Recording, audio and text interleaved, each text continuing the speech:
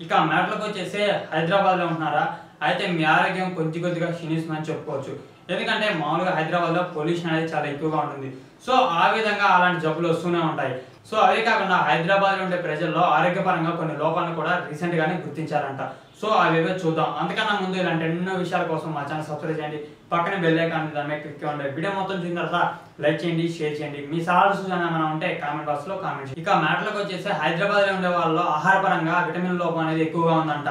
వీటిలో vitamin A D B two B six B twelve విటమిన్లు బాగా లోపిస్తున్నాయట. రీసెంట్గా ఎన్ఐఎన్ తెలిపిన సర్వేలో విటమిన్ లోపం అనేది ఈ విధంగా ఉంది. హైదరాబాద్ సికింద్రాబాద్లో ఉండే జనాల్లో యాభై శాతం మందిలో విటమిన్ బి టూ అనేది లోపంగా ఉందట. మరో నలభై ఆరు శాతం మందిలో బి సిక్స్ అనేది లోపంగా ఉందట. బీటోల్ విటమిన్ కూడా నలభై ఆరు శాతం మందిలో లోపంగా ఉందట. ముప్పై రెండు శాతం మందికి పోలెట్ ఇరవై తొమ్మిది శాతం మందికి విటమిన్ డి లోపంగా ఉన్నాయట.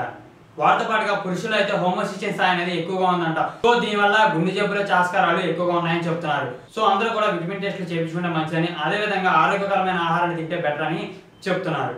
ఫ్రెండ్స్ వీడియో చూసారు కదా నచ్చితే లైక్ చేయండి షేర్ చేయండి. మీ సలహా సూచన ఏమైనా ఉంటే కామెంట్ బాక్స్లో కామెంట్ చేయండి.